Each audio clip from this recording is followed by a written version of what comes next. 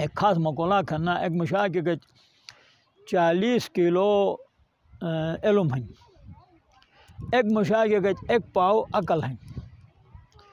تو ایک پاؤ عقل سے چالیس کلو علم شکست دیں لہٰذا کسا بڑی آنے ہیں نقصان دم تھا، کوشش نہ تھے، ہر ایک فائدہ دم تھا، کوشش تھے گا تو خدا تو والے اے مواقعی فراہم تھا پر تو کسا نہیں ہیں کہ حضرت علی کو لکھن کے بارے الہا عقل نہ دگانو تو یک دگانو، عقل دگانو تو یک نہ دگانو۔ ایک تو آنے بلی خدای طرف جو کوسر آنے عقل ہے انو نعمت، کوس خدا کوسر دون تو اس شکر خدای ادا تو کواجے کہ رسول خدا عقل دون ایسو جو فتون سان سانتی مستور انگرام کے مش جب سان اٹھک بیٹھک تھکا تو انسان جیکک مرا آتے لے جنا کہ تھکا تو مش جب سان بیٹھو تو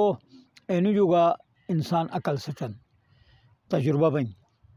تو لہٰذا دمونگ تو انرام کے انسان تاریخ جو وافق واقف بے کی ضرورت ہے۔ اگر تاریخ جو واقف نہ بگا تو ہوگا انسان المرات نہ لے جنن۔ کسی کا بعض اوقات قومی فیصلہ کہنے، شرعی نقطہ نگار اور بیتھکن بعض اوقات قومی قانونی نقطہ نگار چھپکن بعض اوقات قومی کہنے تو ملک رسم، رواج، مد نظر چھپکن ان یعنی پور شرط ان کہ تس تاریخ جو واقف بے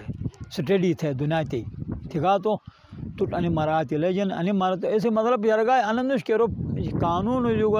یرگا الگ بھائی شرع جو الگ بھائی ملک رواج جو الگ بھائی یرگا خاص چیز اکھن اے نش۔ بضابطہ انی ٹریبٹ مد نظر چھپی خدای قانون،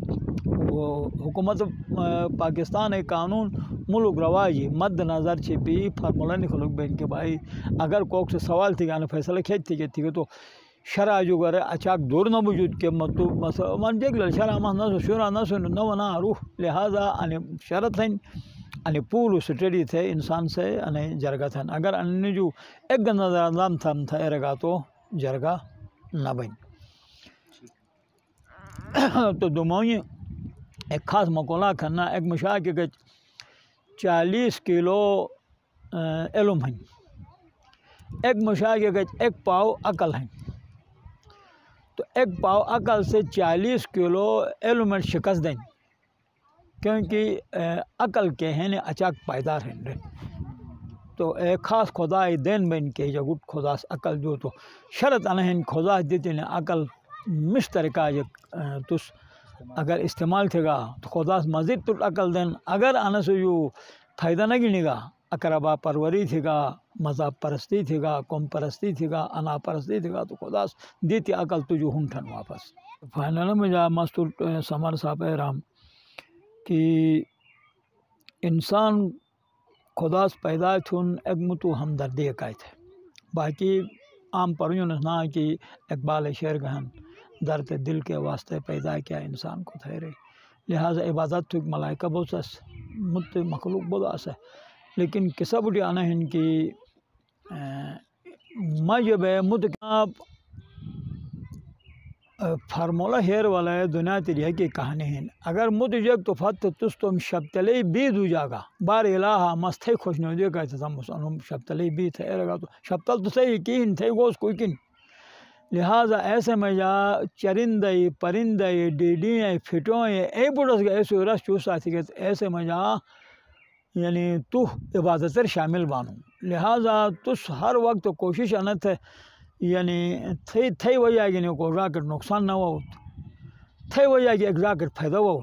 ال فائدہ ہی مطلب اننش کہ تس بیل روپایہ ہے کہ روس ڈے مورک تھے کہ فائدہ دکھ بن۔ جناب علی، مت یک طریقہ کہ کہ تس فائدہ دکھ بانو۔ لہٰذا تھے غرض اگائت انا ہن کیا انسان جب ہے، ایک انسان ہے کہ مت انسان ہے کہ نقصان نہ ہو تو خدا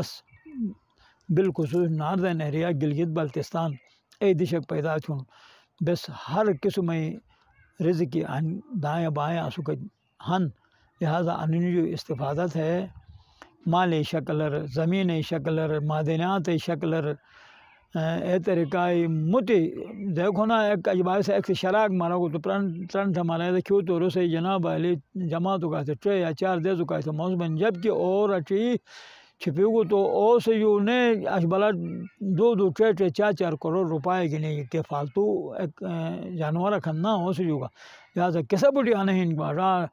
نقصان دم تھا کوشش نہ تھے ہر اگر فائدہ دم تھا کوشش تھے گا تو خدا استر تو والا اے مواقع فراہم تھا